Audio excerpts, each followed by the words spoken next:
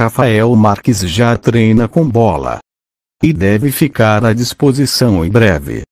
Rafael Marques não viajou para Chapecó, mas treinou com bola nesta terça-feira. A recuperação era seis semanas sem jogar, mas em 25 dias o jogador já voltou a treinar com bola nesta terça-feira e será bem avaliado no Capris.